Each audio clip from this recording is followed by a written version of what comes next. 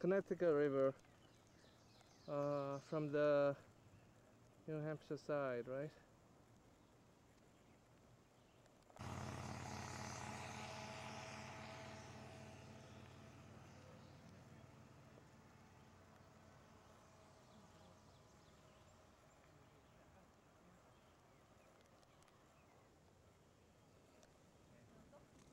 Move it Oh, now. there you go. Yeah, that's the covered bridge across the Connecticut River.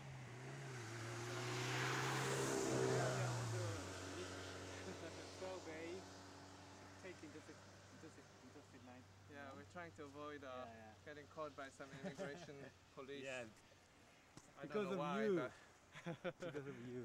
Not No. you're from Germany, right? go that point that way too.